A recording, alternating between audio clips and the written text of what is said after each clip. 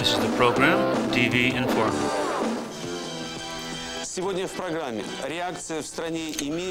The reaction to the referendum in the Ukraine. Today, the parliament approved a credit of 90 billion rubles. A meeting of the Moscow City Council in Washington. The uh, uh, mm, uh, near East, uh, but near Middle East participants are arriving for negotiations, and the Philharmonic from Berlin are touring in Moscow. Today, the Ukrainian referendum has now been concluded. We know not only the future of the few uh, of the present Ukraine and future Ukraine, but of the Union as a whole. But there's still a lot of questions left. For example, Western observers, more than 60 of them, followed the Ukrainian referendum, which took place on last Sunday. Today, they uh, informed journalists of their impressions. They did not note any violations in the electoral process. The members of the Euro Parliament said they would recommend that the Euro Parliament recognize as quickly as possible the independence of Ukraine.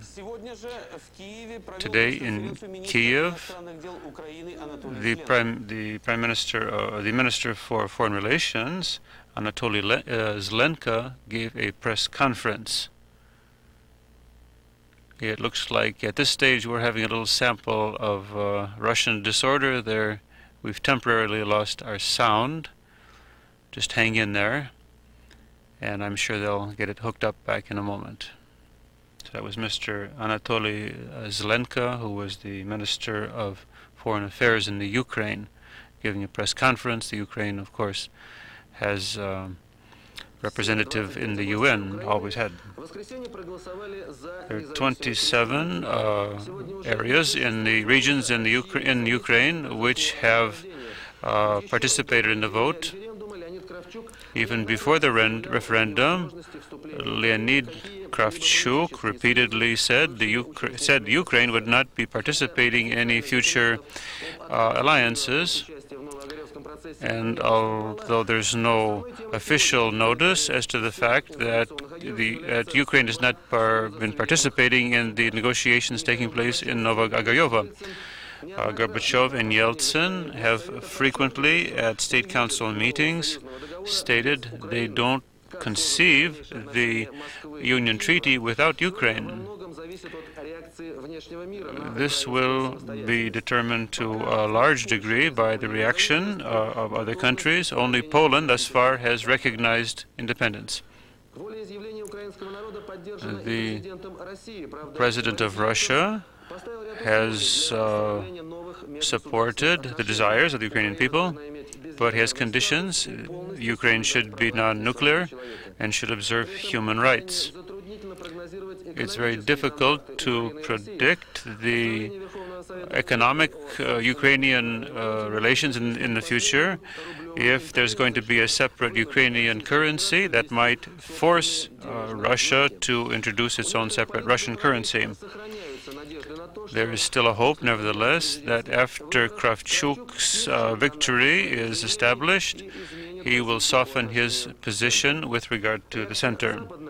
The reaction of Western countries uh, has been quite restrained. The United States will attempt to maintain normal relations with Ukraine and with any other, as with any other country, uh, with a democratic uh, government. He, Bush has stated that he wishes to cooperate with Bush and with and with with Gorbachev and with Yeltsin.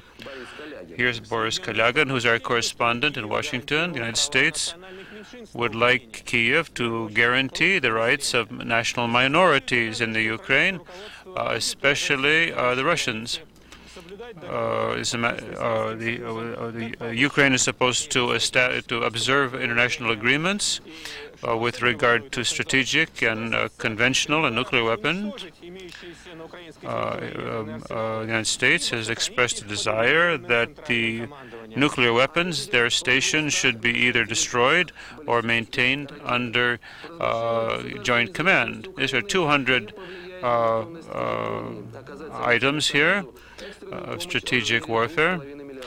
Uh, Tokyo has uh, has not heard and hurried in recognizing Ukraine, but it is going to provide two and a half billion in credit. Украины члены сообщества обратились к республике с просьбой принять меры для поддержания внутри страны конструктивного диалога It was hoped that a uh, uh, that the that the country would would observe its former agreements. Leonid Kravchuk expressed confidence that in the near future uh, Ukraine would be recognized by many countries in the world. He said that they would cooperating with many countries and they would establish relations with a number of other countries. Mr. Gorbachev is not intending to undertake any special measures with regard to an independent Ukraine. So that was the results of, of Ukrainian voting, and now here is the report on the uh, uh, on the Ukrainian uh, Prime Minister, Prime Minister, Ukrainian Minister press conference uh, on uh, foreign affairs. The hall here is a cozy one, but has not been intended for such intense interest. The Minister of Foreign Affairs, Anatoly Zelenko, discussed the basic thrust of Ukrainian activities under conditions of independence.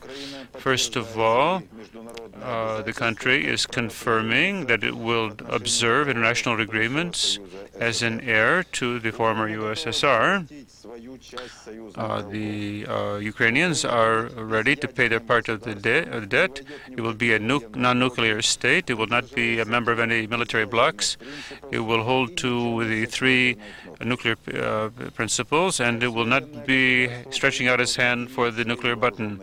It need, will have its own uh, armed forces and a Republican Guard after becoming a full-fledged member of the European process, it will observe all agreements on human rights, uh, and the rights of uh, national minorities are a priority.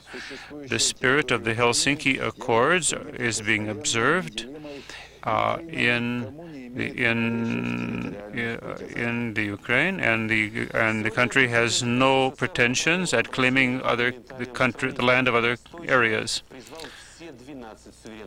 All the 12 uh, uh, republics should, in the words of Mr. Gorbachev, uh, attempt to cooperate.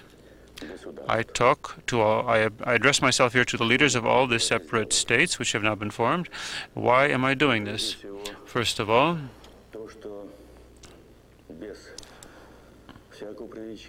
without any exaggeration, the country, our fatherland, is in danger.